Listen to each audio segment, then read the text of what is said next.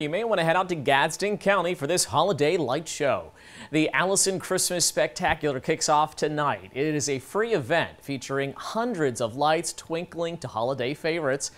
ABC 27's Cara Bailey joins us live there tonight with a sneak peek of what they have planned this year. So, Cara, when did things kick off? So turning in less than an hour, the Allison families will light up not just the 15 trees that you see behind me here at their home on Sandy Creek Road in Havana, but they also tell me that they will light up the entire street for a spectacular Christmas display. Now this is the Allison family's 13th year drawing a crowd from far and wide to their front yard.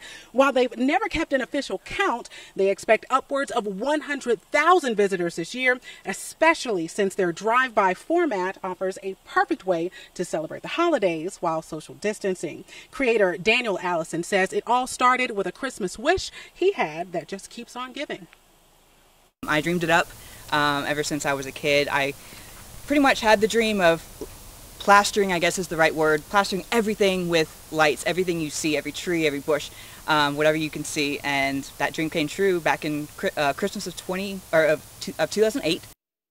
Now, Daniel spends hours on his computer each year programming the lights to dance to special tunes. They're up to eight songs this year, including old favorites like We Wish You a Merry Christmas and new this year, a jam from Pentatonix that Daniel says he has packed with several surprises. And talk about spreading the Christmas cheer. They even have their neighbors' lights synchronized to the very same tunes that you'll see in their yard so that people will have a sight to see on either side as they drive by. They will have security from the sheriff to make sure that everything runs smoothly. And all together, get this, they are working with 250,000 lights. Pretty spectacular indeed, if you ask me. And stay tuned right here at 6. We'll hear from the man who makes the magic happen right here in Havana. Reporting live, I'm Cara Bailey, ABC 27.